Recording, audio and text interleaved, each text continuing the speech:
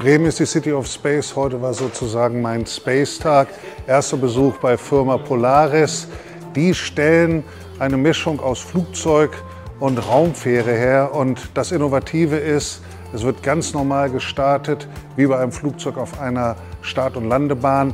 Und dann geht es in den Space und in den Orbit. Bisher gibt es noch Prototypen, aber die Entwicklungsperspektiven sind sehr gut. Und wenn das gelingt, dann ist das richtig ein Quantensprung in der Entwicklung der Raumfahrttechnik.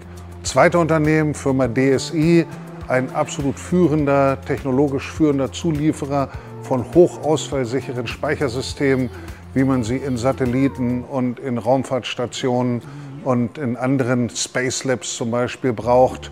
Und eine Firma, die wächst. Und äh, wir haben heute auch mit den Mitarbeiterinnen und Mitarbeitern gesprochen, hochmotiviert, dass auch an dieser Stelle Bremen ganz vorne mitspielt. In, insofern insgesamt ein sehr motivierender Tag, der zeigt, wir nennen uns nicht zu Unrecht Technologiemetropole des Nordens.